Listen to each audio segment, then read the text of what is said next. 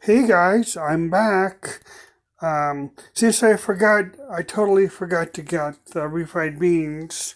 So unfortunately, my burrito will not have refried beans. But um, I cooked it all up and I drained the meat, of course, because even though it's 93% lean, you should always drain your meat of the grease. Definitely.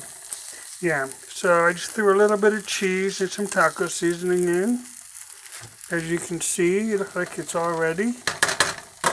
Next, I'm going to get uh, one of these burritos things here, and I already opened up the the burrito sauce. It's pretty good actually. So um, let me figure this out. How I'm going to do this with both hands or with one hand, or let me look.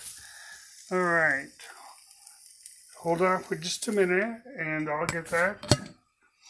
I hope everybody had a great day today at work. Um, I hardly had to work today because my partner in crime, little Val, went home sick yesterday, and uh, she had she had um, food poisoning apparently. So uh, poor little Val.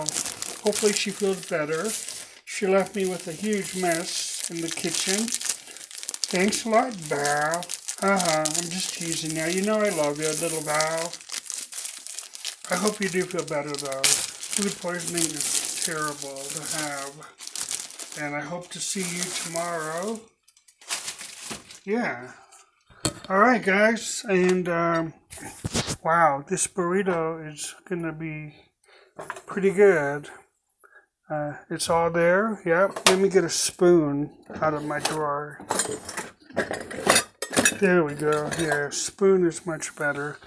Now, if I'm calculating right, I'm hoping to get at least four burritos out of here.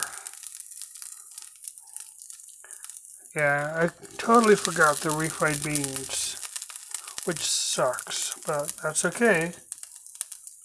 I wasn't thinking.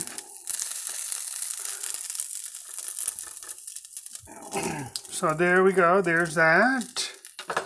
Maybe I'll throw a little bit of uh, pork sauce in there.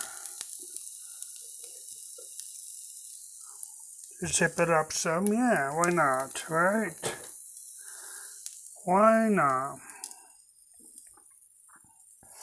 Yeah, looks really good. Okay. Next the art of folding it.